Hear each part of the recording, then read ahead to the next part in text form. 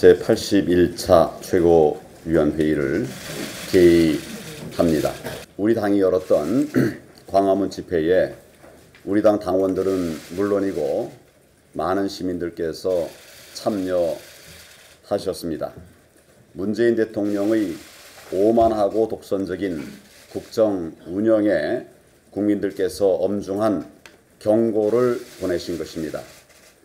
그런데도 청와대와 여당은 반성할 생각은 하지 않고 저와 우리 당을 비난하는 데만 열을 올렸습니다. 문재인 정권은 자신들의 이념에만 매달려서 경제가 무너지고 민생이 망가지고 있는데도 국민들의 삶은 돌볼 생각하지 않고 있습니다. 전국 공단의 중소기업들은 최저임금 급등, 근로시간의 단축에 대기업 노조 파업까지 이어지면서 정말 모두 죽을 노릇인데 대통령은 오로지 개성공단 살리기에만 목을 메고 있습니다. 지금 이 정권은 정책 방향을 바로 잡을 생각은 하지 않고 온갖 독재적 수단을 동원해서 정권을 유지할 궁리만 하고 있습니다. 국민의 반발을 짓밟으며 코드 인사로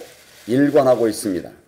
이렇게 국민들의 눈과 귀를 가로막는다고 해서 국민의 심판을 어, 피해갈 수 없다고 생각합니다.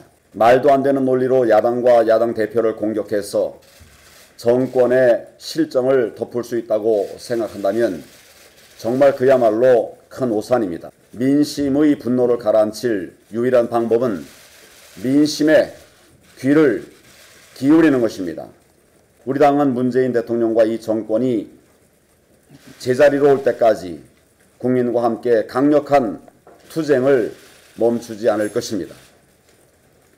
이 정권의 잘못을 바로잡지 않고 독재적 행태를 계속한다면 더 많은 국민들이 거리를 메우고 청와대로 진출할 것입니다.